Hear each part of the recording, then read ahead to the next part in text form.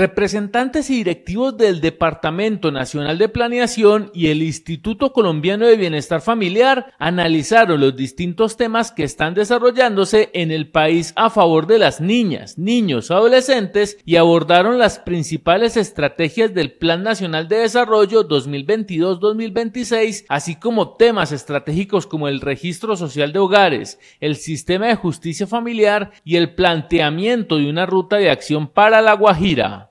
Bueno, con el ICBF desde el DNP hoy pudimos hablar de las acciones del Plan Nacional de Desarrollo en las que vamos a trabajar articuladamente, las políticas públicas en las que vamos a adelantar trabajo conjunto. Pudimos contarles también un poco sobre el registro social de hogares y el plan de trabajo conjunto que vamos a adelantar en La Guajira para atender a la población, a los niños, a las niñas y a los adolescentes eh, en con las zonas de recuperación nutricional todo un trabajo conjunto que vamos a empezar a adelantar de ahora en adelante las dos entidades, vinculando también a las otras entidades que deben trabajar de la mano para garantizar el derecho humano a la alimentación, por ejemplo,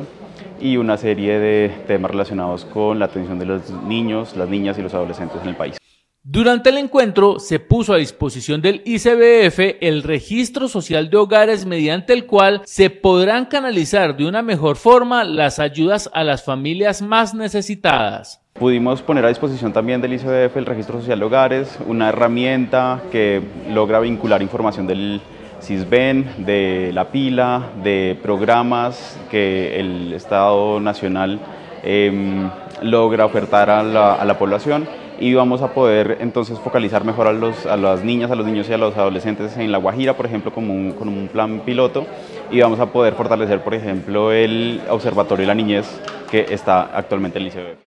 Bueno, con La Guajira nosotros trabajamos con DNP en lo que significa eh, la territorialización, la apuesta de llegar realmente a todos los niños y niñas y la unificación de un modelo integral. Nos van a acompañar en los indicadores del pilotaje que vamos a tener del modelo propio en La Guajira y esto nos permite tener una acción eh, de valoración que, que permita darle sostenibilidad al modelo que vamos a implementar.